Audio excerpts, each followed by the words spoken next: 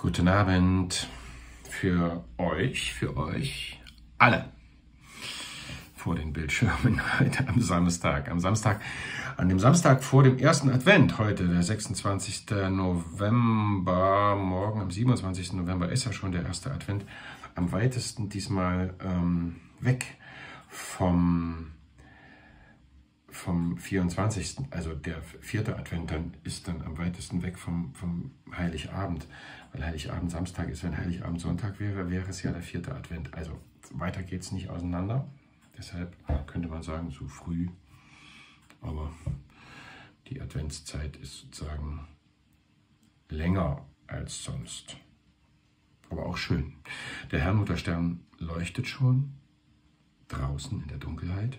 Und heute gibt es ein Gedicht als Nachruf und Wertschätzung und Huldigung eines Lyrikers, Essayisten, Romanciers, Intellektuellen, Deutschen, Hans Magnus Enzensberger, der vor zwei Tagen mit fast 193 Jahren gestorben ist. Und wahrscheinlich hat er gelächelt gelächelt. In München ist er gestorben und der hatte immer so ein, der hatte immer, war immer so verschmitzt.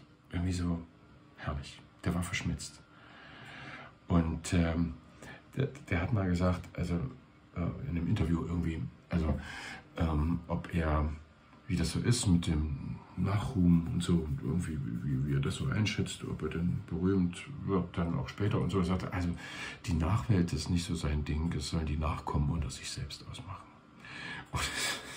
War sensationell. Er hat einfach immer im Jetzt und Hier gelebt. Und hat als Lyriker angefangen und dann herrliche Essays geschrieben und Romane, unter, unter anderem einen Hammerstein oder der Eigensinn über Kurz von Hammerstein, dem letzten Chef der Heeresleitung, bevor die Nazis an die Macht gekommen sind. Ähm, ein wirklich sensationelles Buch. 2008 ist rausgekommen. Also wer sich so für diese Geschichte interessiert, der muss das lesen. Ähm, es ist ja im Prinzip ein Sachbuch, aber es ist eben so als Roman geschrieben. Also eigentlich im, Stil, im Stile von, äh, von, vielleicht von Stefan Zweig eher. So, der, der Maria Stuart geschrieben hat oder Marie Antoinette. Also ja, ist eine Empfehlung. Das Gedicht heute, Middle Class Blues. Wir hören es erstmal. Wir können nicht klagen, wir haben zu tun. Wir sind satt. Wir essen.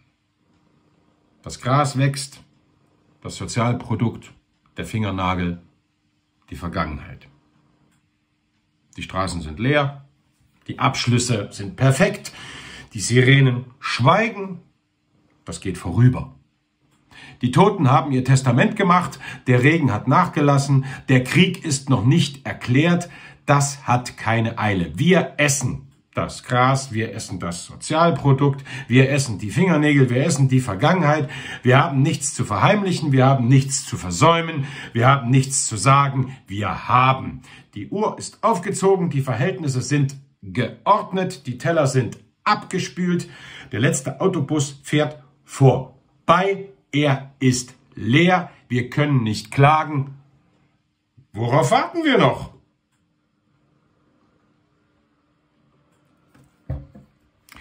Geschrieben hatte das Gedicht 1964 mit 25, 35 Jahren. Ähm, Jetzt könnte man sagen, oh, das ist ja alles nicht so und jetzt haben wir ja Krieg und so. Aber wenn ihr mal genau hinhört, ist es genau noch so. Es ist einfach ganz genau so. Wir richten uns ein. Wir richten uns auch ein mit den höheren Gaspreisen, die vielleicht kommen. Wir richten uns auch rein mit der Klimakrise. Oder hören weg. Also wir sind genau wieder bei diesem Thema.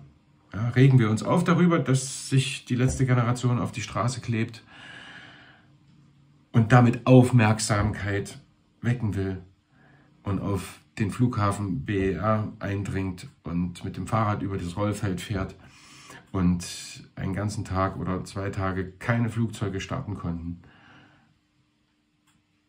Ist das ein Ärgernis? Oder wachen wir auf? Oder machen wir einfach weiter? Weil uns betrifft es ja nicht. Also noch nicht, noch nicht so dolle. Und ja, die 30 Jahre, ach, die schaffen wir noch.